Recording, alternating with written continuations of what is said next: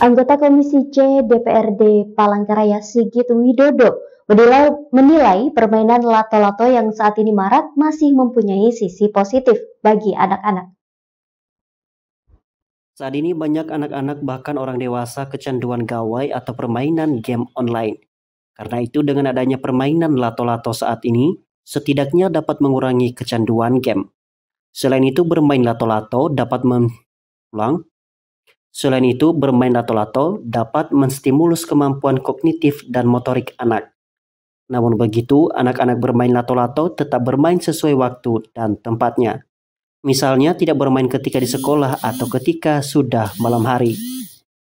Sigit juga menambahkan, munculnya permainan lato-lato saat ini tentunya mengingatkan masa-masa generasi terdahulunya. Akan tetapi permainan lato-lato kala itu tidak booming seperti di zaman milenial saat ini.